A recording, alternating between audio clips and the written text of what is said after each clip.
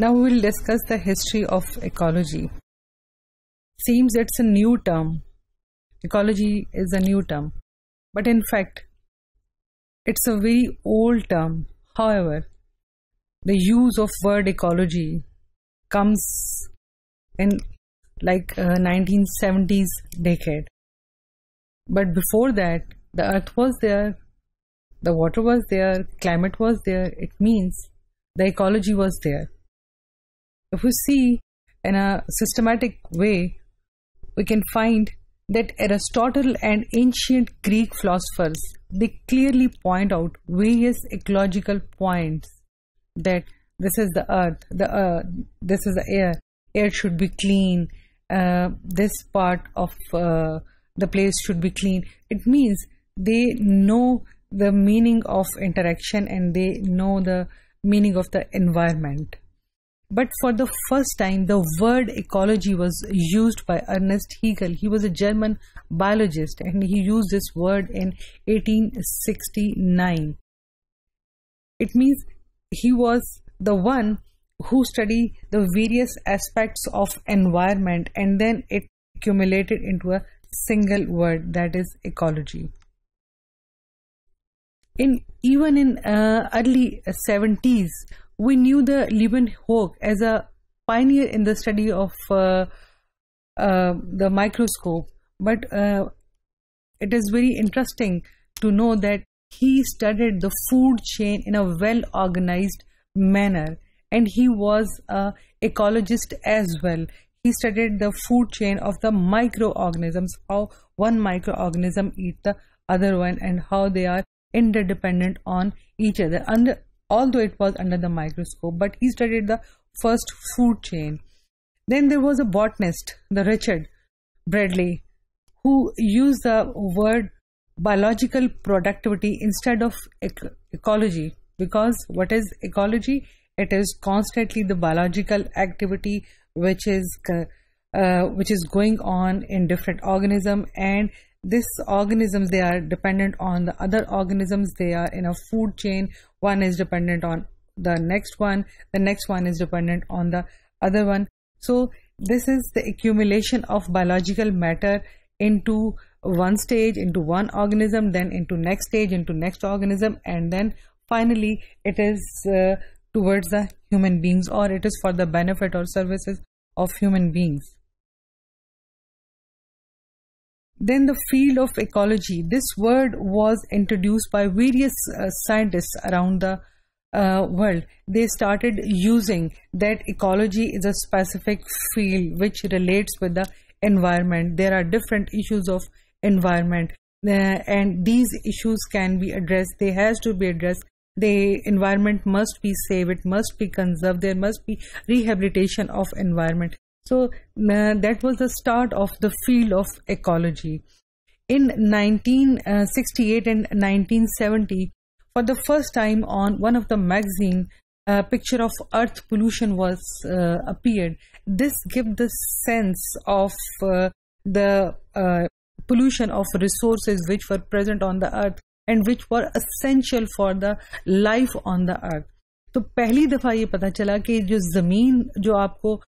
Services اور وہ رہنے کی جگہ جو مہیا کر رہی ہے، اس کا جو ہے وہ صاف ہونا، ان چیزوں کا استعمال اور اس کے بعد ان کو دوبارہ اسی حالت میں کسی طرح سے دوبارہ واپس جانا، یہ ضروری ہے، کیونکہ اس میں صرف انسان کی بقا نہیں، اس کی بقا کی باقی تمام فورسز تمام فیکٹرز جو ہیں، وہ شامل ہیں۔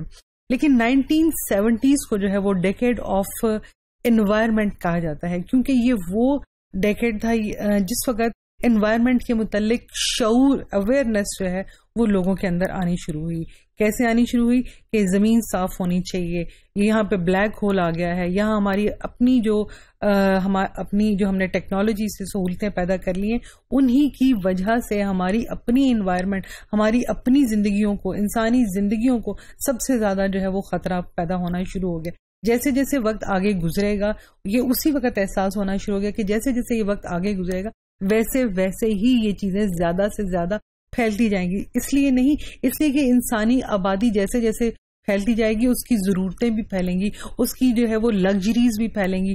انہی ضرورتوں، انہی لگژریز کو پورا کرنے کے لیے اتنے ہی نیچرل ریسورسز ہم استعمال کریں گے۔ جتنے نیچرل ریسورسز ہم استعمال کریں گے اور ان کو دوبارہ واپس ہم اسی حالت میں نہیں بھیج سکتے ہیں۔ لہٰذا وہ نیچرل ریسورسز آہستہ آہستہ ڈپلیشن کی طرف جائیں گے۔ تو یہ پہلی دفعہ جو ہے وہ انیس سو ستر میں ایک وہ اویئرنیس وہ شعور آیا جس میں environment degradation environment conservation environment کے متعلق جو ہے وہ شعور آ گیا کہ اس کو ہم نے کنزرو کرنا ہے۔ اس کے بعد نائنٹین سیونٹیز میں پہلی دفعہ جو ہے وہ ارتھ ڈے منایا گیا۔ That was twenty second of April کہ زمین کو صاف رکھا جائے، زمین کی چیزوں کو باقی رکھا جائے۔ یہاں پہ پائے جانے والے پودے، یہاں پہ پائے جانے والے جانور، ہر ایک پودا، ہر ایک جانور اپنی جگہ پر انتہائی لازم ہے، کیونکہ وہ کسی نہ کسی طرح سے انسانی فائدے کے لیے ہی استعمال ہوتا ہے۔ کیونکہ وہ ایک فوڈ چین کا حصہ ہے، اس فوڈ چین میں گیپ نہیں آنا چاہیے۔ وہ فوڈ چین ٹوٹ جائے گی جب وہ چیز وہاں پہ موجود نہیں ہوگی۔ نائنٹین ایٹیز اور نائنٹین نائنٹیز کے جو ایرا ہے، اس کے بعد یہی انوائرمنٹل جو ایشوز ہیں، ان کو پولیٹیسائز کیا جانے لگا۔ ان کے اوپر جو ہے وہ سیاست ہونے لگی۔ آج کل جیسے کراچی کے مسئلے کے اوپر بہت زیادہ سیاست ہو رہی ہے، وہ ایک انوائرمنٹل ایشو ہے۔ وہاں پہ کوڑا، کرکٹ، بہت ساری بیماریوں کا، بہت سارے آرگنیزمس کے پیدا ہونے کا وجہ بن رہا ہے۔ وہ بہت ساری بدبو، ایسے والاٹائل ٹاکسک مٹیریل جو ہے، وہ ہوا میں پھیلا رہا ہے، جس کی وجہ سے ایسی ایسی بیماریاں جو ہیں، وہ پھیلنے کا خدشہ ہے، جسے ہم کنٹرول نہیں کر سکتے۔ جن کی ہم ابھی ویکسین نہیں بنا سکے، جن کی ابھی ہم علاج دریافت نہیں کر سکے۔ اور وہ بیماریاں ایک یا دو انسانوں کو نہیں لگیں گی، وہ ایک بڑے پیمانے پہ رہنے والے انسانوں کو جو آپس میں ایک ہی جگہ پہ رہتے ہیں، ایک ہی گھر کے اندر رہتے ہیں، ان سب کو افیکٹ کر سکتی ہیں۔ ایک ہی محلے میں رہنے والے انسانوں کو افیکٹ کر سکتی ہیں۔ انسان جانوروں کے ساتھ انٹریکٹ کرتے ہیں، انسان وہاں وہاں کے پودوں کے ساتھ انٹریکٹ کرتے ہیں۔ تو یہ بیماریاں نہ صرف انسانوں تک محدود رہیں گی، یہ ان تمام ریسورسز کو آہستہ آہستہ ختم کریں گی، جن کے اوپر انسانی بقا ہے۔ لہذا یہ چیزیں جو ہیں وہ اب شعور کے ساتھ ساتھ ان کا جو ہے وہ صاف ہونا، اس کو، اس چیز کو کنزرو کرنا، اس چیز کو حفاظت کے ساتھ رکھنا۔ اب وہ چیزیں آہستہ آہستہ اس طرف دنیا چل رہی ہے۔ لیکن اس تمام چیزوں کے باوجود بھی ہم اپنی لگژریز کو کم کرنے کی طرف نہیں آتے ہیں۔ ہم ان لگژریز کو جو ہے بڑھاتے ہی چلے جا رہے ہیں اور اس کا آفٹر افیکٹ ہم بلا آخر کہیں نہ کہیں دیکھیں گے۔ اس کا ایک آفٹر افیکٹ جو ہے وہ بلیک ہول کی فارم میں پہلے ہی اوزون کی لیئر میں ہے۔ جس کی وجہ سے بہت ساری ایسی ریز جو ہے وہ زمین پر پہنچ رہی ہیں جو جلدی کینسر کا باعث بن رہی ہیں۔ یہ در حقیقت کیا ہے؟ ہماری جو ایئر کنڈیشننگ کی سہولت ہے، ہمارے بہت سارے ریفریجریٹرز یہاں پہ ایک اسپیسیفک قسم کی کاربو جو ہے وہ فلیونائڈ گیس نکلتی ہے، جو کہ او زون کی لیئر کو جو ہے وہ کاٹ رہی ہے، وہاں پہ جا کے ریئیکشن کرتی ہے۔ وہ جو زون ہے، جو کہ ایک قدرتی حفاظت ہے ہمارے لیے، اس سورج کی ایسی شوائیں جو کہ زمین تک نہیں پہنچنی چاہیے، وہ پہنچ رہی ہیں۔ کیونکہ وہ او زون کی لیئر وہاں سے اس ریئیکشن کی وجہ سے آہستہ آہستہ جو ہے وہ ہٹتی جا رہی یہ گیپ بڑے سے بڑا ہوتا چلا جا رہا ہے۔ لہذا اپنی انوائرمنٹ کو صاف رکھنا، اپنی انوائرمنٹ کے اندر وہ تمام چیزیں جو ہے وہ احتیاط کے ساتھ استعمال کرنا، جس پہ ہمارا جو ہے وہ انحصار ہے اور باقی آنے والی نسلوں کا انحصار ہے۔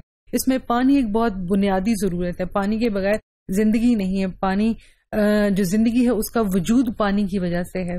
پانی کا بے درے کے استعمال، پانی کے ریسورسز کا جو ہے وہ ان چیزوں کا ایک کسی حد سے بڑھ جانا، تمام کی تمام چیزیں ضیاع کی طرف چلتی جا رہی ہیں، اس کا ضائع ہو جانا، وہ دوبارہ ایکو سسٹم میں انٹر نہیں ہوگا، وہ ہمارے پاس دوبارہ استعمال کے قابل نہیں ہوگا۔ لہٰذا ان تمام چیزوں کو اب ہمیں بہت احتیاط کے ساتھ استعمال کرنا ہے۔